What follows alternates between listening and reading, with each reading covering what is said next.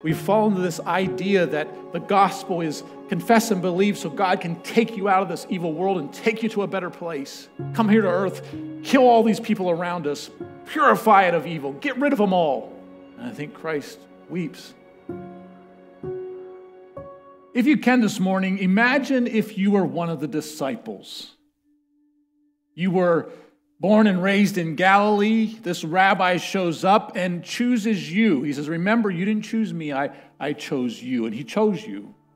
And you begin to walk with him. Imagine the experiences of seeing him do his first miracle, turning water into wine. You see the lame walk, the dumb speak, the blind see, the dead raised to life, demons cast out, walks on water, breaks the bread and you begin to believe this is the Messiah. Do you ever wonder what you would discuss among yourselves as a disciple? Guys, this is him. What's he going to do next? What's getting ready to happen here? Are, are we going to be with him the rest of our lives? Is he going to send us out again? We weren't too prepared the last time. Maybe he's going to break us up two by two and we're going to go all over the world. But something's changing. The tone's beginning to change. He's talking about heading to Jerusalem, and you understand this story because the text foretells it. The king is coming, going to take the throne, going to march into Jerusalem, establish the kingdom of David. He gathers you together and says, Guys, it's time to go pack your bags. And now you're going, What do I pack? What do you pack for a Messiah entering Jerusalem? You grab your best cloak, you try to get the best shoes that you have, and you're remembering his teaching that sometimes don't take anything with you. And fortunately, you had just a, few, few dollars with you, and, and you had your knife because a Messiah is entering Jerusalem. But then there's something nagging you in the back of your mind. What is he going to do about Rome? How's he going to do that? It's one thing to raise one person from the dead, it's one thing to feed the 5,000. But what about the masses that are getting ready to send into this holy city for Passover? What about the legions of Roman soldiers, the thousands upon thousands of Roman soldiers guarding every gate, inspecting every visitor? What's he going to do about that? But again, the question comes back to you is it now that the kingdom of heaven will be restored to Israel? Is it now? It sounds like it is. You're walking towards Jerusalem. What discussion are you going to have? Where are we going to stay? What are we going to do? Two of you peel off, James and John, and corner this Messiah and says, "Hey, when you enter into your kingdom, can we sit on the right and left of you?"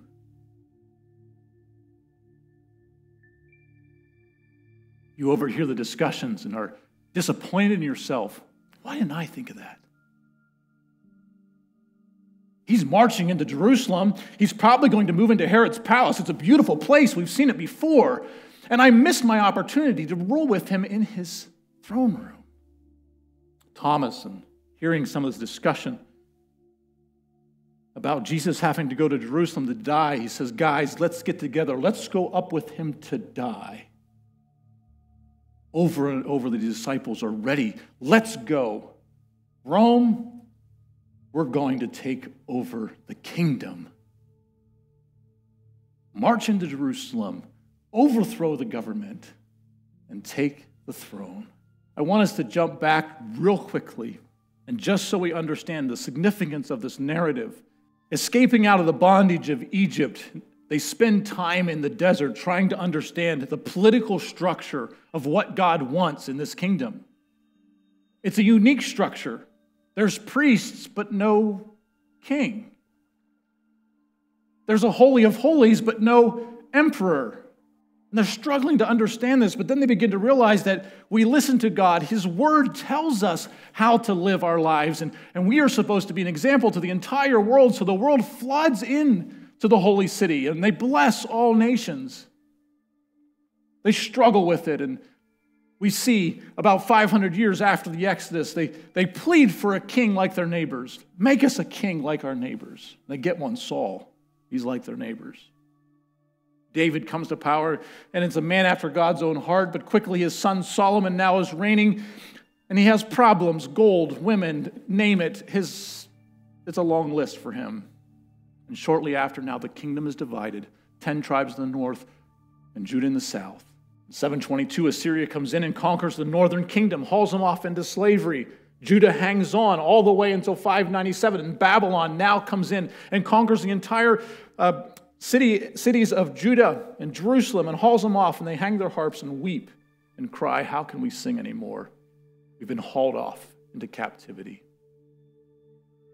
While they're there, they begin to think, What was the reasons why we've been hauled off into slavery? What is this cause of ours? And they remember the words of the prophet saying, If you would just obey my commands, if you'd have kept my Sabbaths, you wouldn't have been hauled off. And they vow before God, Never again will we go into slavery because of disobedience the rabbinical movement started, the, the ability to get together and study the scriptures, and together they begin to research and study these words that they've heard.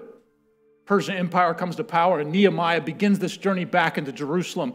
They don't even have the words of the, of the text anymore. They're searching for it, and they find one in the old, te- old temple, and they begin to study this new text again, searching for God, trying to understand his words. Most of the Jewish people stay back in Persia because Persia was a, a looser entity. They let the, the Jewish nation kind of have their own um, structure to, to a point, so they had no reason to come back from Persia into Jerusalem. And then by 332, Greece comes to power under Alexander the Great, and they march into Jerusalem and overthrow the government again. Israel, again, once again, is under an authoritarian structure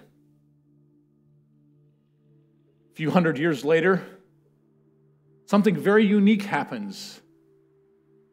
The Jewish people rise up and chase chase out their oppressor.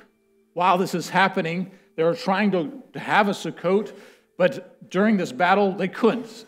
So they had the Sukkot feast later than normal that year. They were trying to restore the temple because the, the Greek um, Authorities sacrificed pigs on the altar and desecrated it. So they tear it apart, lay it aside, build a new one, try to purify this temple. This Sukkot feast that they held became the core of what this Maccabean revolution was all about. Because they were able to overthrow this government, once again, they think they're going to be able to establish this, this Jewish nation under a Jewish king. They never get there. They only have the Maccabean priesthood at that point. They never established a king. The priest, again, we're trying to get back to saying God didn't establish a king at the beginning. It's by the priestly line. But at Sukkot, there's a few things that the text tells them to do. It's a seven day feast, and it's structured around this, this festival of where you get palm branches and wave them before God. And you sing the songs of David Hosanna, Hosanna. Glory to God in the highest.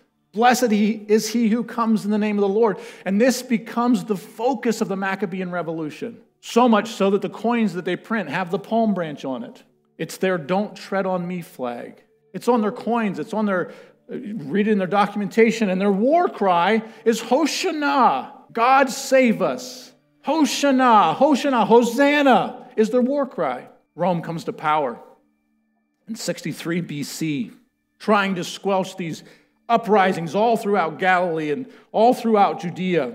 They outlaw palm branches in Jerusalem. 100 lashes to anybody that's found with a palm branch in Jerusalem. This zealot movement, under the war cry of Hosanna, their banner, the palm branch, is squelched by this Roman Empire. Thousands are killed every Passover. The roads are lined with crucifixion Jews dying as people were marching in for the festival. Passover becomes the focus point of when this Messiah is going to come. The priesthood had pretty much become Hellenistic after the Maccabean Revolution anyway. They were enjoying the wealth of the millions of people being able to flood back into Jerusalem. The Roman roads have really helped with this. The, the Roman infrastructure allowed for people to travel all over the world, and thousands of miles Jews would just flood into to Jerusalem for the Passover feast. But because of this disagreement between Rome and this Messiah that's supposed to come at some point, they locked the eastern gate all year. You lock the gate, the Messiah can't come because it says he must come through the eastern gate. Only one day a year is the eastern gate opened. During this time, history tells us there was three revolts that happened on Passover. The first one, Athronges, a shepherd, gets this idea that he is going to be the king, crowns himself, marches into Jerusalem, becomes a priestly role, grabs some scribes, pours tar and oil over them, and lights them on fire. The first time in history we have the concept of a Roman candle. Shortly after this, Theudas, mentioned in Acts 5,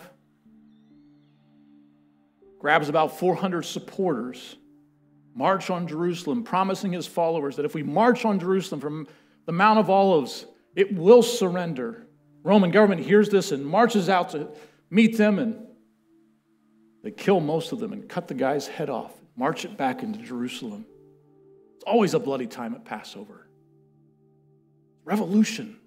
Another story also mentioned in the Bible is a Jew from Egypt out in the desert, he gathers 4,000 people. 4,000 people.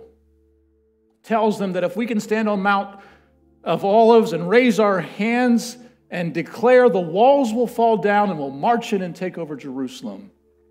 They do it. Rome marches out to meet them, and Rome kills 400 and captures 200 more. He escapes out in the desert. It says that when they arrested Paul, he says, Are you the Jew from Egypt? Eventually, they catch him cut off his head, put it in a cage outside of the gate. It was hanging there for years. Pilate, so disturbed with these uprisings, always would do a massive show of support. Josephus, the historian, writes about it how he'd gather his legion and march from Caesarea over the pass into Jerusalem. Thousands of soldiers trying to squelch this massive influx of people that are happening every year. Traditionally, he would march on the Sunday before Passover, marching in under the banner of Rome. You, as a disciple, are thinking, is this another year? Will there be a revolt this year? What's Rome going to do this year? How are they going to squelch this? Three million people are, are just pouring in from all over the world to a city of a couple hundred thousand. The landscape's lined with tents and people and sheep.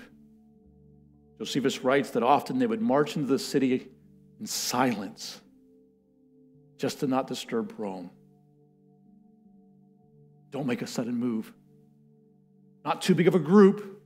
Stick together. This time there's another procession that's happening. In Exodus, the 10th day of the first month, it says, Go choose for yourself a lamb.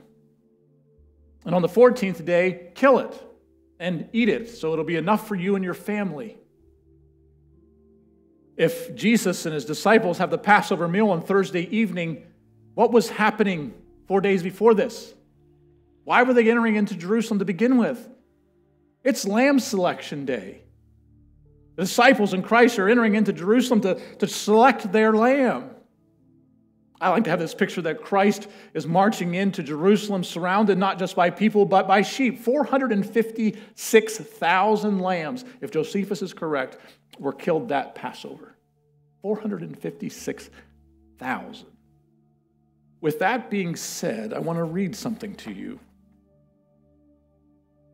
And when they drew near to Jerusalem, to Bethphage and Bethany, at the Mount of Olives, he sent two of his disciples and said to them, Go into the village opposite you, and immediately as you enter it, you will find a colt tied, on which no one has ever sat. Untie it, bring it.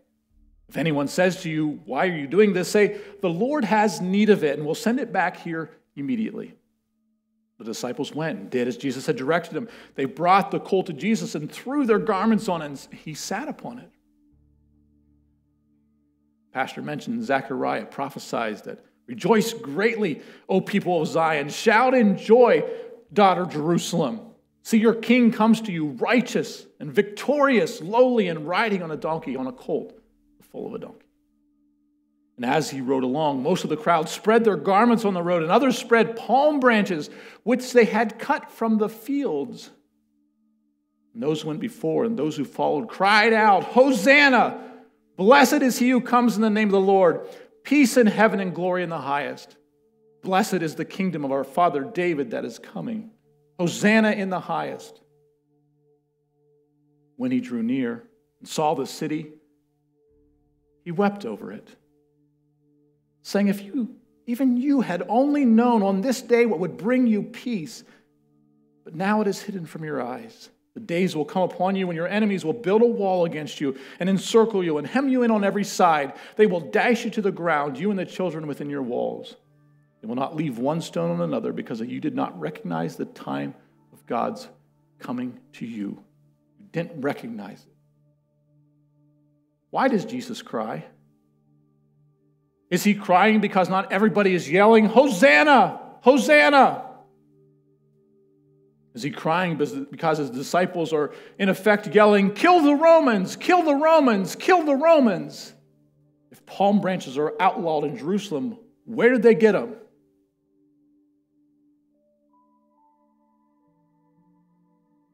I'm going to cut this just in case. Can bring that along. If you only knew what would bring you peace. There's a few things in this story, and I've, I was reading a compilation of all four accounts. There's a few things in the story I want us to look at. Jesus cries twice in the text. I think he does this more than that, but it's recorded that he cries twice. What makes God cry? Many of us hear this Christmas song no cry he makes away in a manger. But that's not the case. The story begins in the first time where he's outside of Bethany and he hears that his friend Lazarus is, is laying sick. It says that he waits two days, he knows the story, and now hears that Lazarus is dead. He begins his walk to Bethany, it says that Miriam runs out to meet him. And he begins to talk with her and, and tell her, literally, he tells her, Lazarus will be raised from the dead. Miriam, on hearing this, runs back to Mary and says, Come out, the teacher has, has need of you to tell you. Mary rushes out. The people around her aren't sure what's going on. They're, they're sitting Shiva with her because Lazarus is dead, mourning this death of her brother. She runs out. They follow with him. He gets the Messiah and she bows down before him. He tells us tells her that Lazarus will be raised. They head to the tomb. And as they're walking to the tomb, Mary says, Lord, if you had been here, my brother would not have died. And when Jesus saw her weeping, and the Jews who came with her also weeping, he was deeply moved in spirit and troubled. And he says, Where have you laid him? They said to him, Lord, come and see. Jesus wept. Say dakruo, dakruo. It means silent weeping. And there he stands, tears pouring down his face. Who's he crying for? Is he crying for Lazarus? Lazarus is in heaven. He says, No, when he sees their cries, he wept. So in touch with his friends, so moved by seeing his people that he loves under this anguish, he cries. The second time he cries, say klaio. klaio. We read it in the story. He sees the disciples and the people gathered around him as he's doing the triumphant entry, raising palm branches and crying, Hosanna, Hosanna to God in the highest. Blessed is he is who comes in the name of the Lord. Hosanna. And he looks at the city and weeps, klaio sobbing out loud. It says, in inner anguish, and he wails. Why is he crying? There's one thing that, of all that I said this morning, you had to remember this is the one thing. Jesus cries for everyone. How does he cry for you? Does he weep because he sees you as a friend? feels your pain, knows the anguish that you are in? Or does he sob out loud knowing that you misunderstood him? The second thing that I want you to, to grasp and make sure have you picked your lamb? Have you selected your sacrifice? Today's the day. I would hate for you to leave this day not having selected a lamb. Those that have, has it been enough? And not just for you, you and your family. Because Christ wants to be your lamb. This sacrifice isn't just to appease a, an angry God. No, it's far bigger.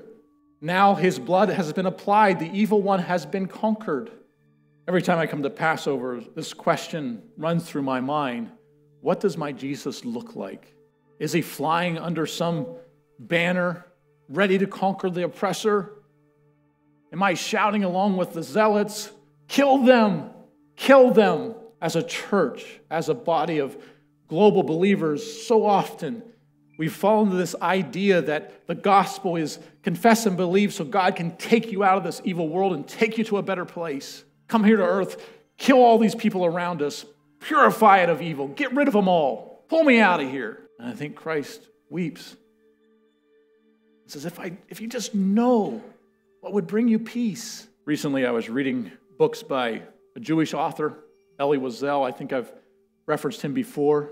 As a 16 year old kid, he was hauled off to the concentration camps, him and his family. At the first point, his sisters and mother were taken away from him, and it was just him and his dad. And they first were to Auschwitz um, and then to, to Monowitz. But as they were at Auschwitz, the, Roman, the, the Russian army was coming in to, to liberate Auschwitz, and the, and the Germans grabbed them and took them out before they could get there. He writes about Auschwitz. He says, The first, or never shall I forget that first night. It turned my life into one long night, seven times sealed. Never shall I forget the small faces of the children whose bodies I saw transformed into smoke under a silent sky. Marching out of Auschwitz, him and his dad are trying to keep up because with the, with the Russians right behind them, they were just forcing these Jewish people to march as fast as they could. They knew that if you fell down or got left behind, you're dead. And him and his dad are struggling, trying to do this night march. And while he's walking, his dad stumbles and falls. And he says, I couldn't even look back because I knew it was going to happen. After the Holocaust, he writes, and I'm going to quote this he says, If the Holocaust wasn't sufficient persecution for the Messiah to come, then when will God ever show up? We Christians have fallen into that exact same mentality over and over and over again. If only Christ would return, then God can defeat evil. But we, we get confused. The enemy wasn't the Nazis. The enemies aren't a political party or an opposition. It's the evil one. But Christ defeated him. At his temptations, he bound him. When he casts out the demons, he bound him. When he conquers death, he bound him. We can take the evil one's territory. All authority in heaven and earth has been given to us. Go. Take it back. Is the evil one destroyed? Not yet, but he's bound. But if we continually wait for some violent moment where this king is going to ride in with his army and purify the world of evil, we miss it. The world needs a better gospel one that in your pain, He gives you the strength to move forward. One where people look at you and go, that's different. That's not picketing and waving the palm branch. No, that's bending over and helping that homeless one, giving food to the poor and needy, visiting the homeless, going to the prisoner, looking at your child, putting your arms around them, Seeing a world that is just going mad and saying there's a better way, not a better slogan, not a better party, and try to see this sacrifice and try to join with this group yelling Hosanna, but it's not just declaring who the Messiah is. Everybody there knew he was the Messiah. Everybody there was waving the palm branch saying, This is the Messiah. They knew it. They weren't doubting if it was or not. That's not the point. Christ is saying, it's not if you're accepting me as the Messiah. I'm asking you to do something. The disciples marching in, we talked about it early on, marching into Jerusalem.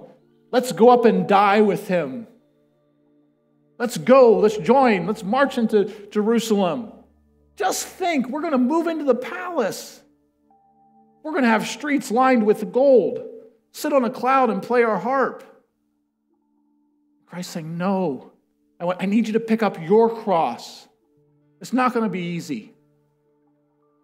It's not. Those of you that have walked in the faith know it's not easy. But we have someone who looks at us and weeps with us and say, I will give you the strength. Take no thought for tomorrow. Daily, he gives us the strength just to, to take another step. I love the verses in Isaiah. It says, See, a king will reign in righteousness, and a ruler will rule with justice. And each one of us will be like a shelter from the wind and a refuge from the storm like streams of water in the desert, in the shadow of a great rock in a thirsty land. Then the eyes of those who see will no longer be closed, and the ears of those who hear will listen. You want to change the world, be some shade, be some living water, provide shelter to somebody who needs it. I ask the question what makes a God cry? And I ask it, how is God crying for you? Is he weeping, understanding your pain, recognizing the path of carrying the cross is not an easy one? Or is he wailing out loud, saying, If you only knew what would bring you peace? Let's stand.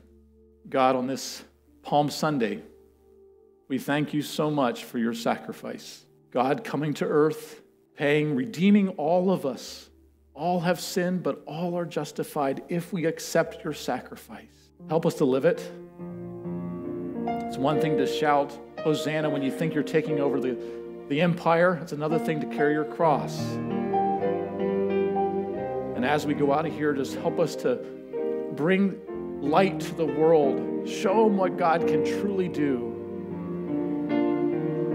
It's not an easy one, but we know you'll be with us each step of the way. In Messiah's name, amen.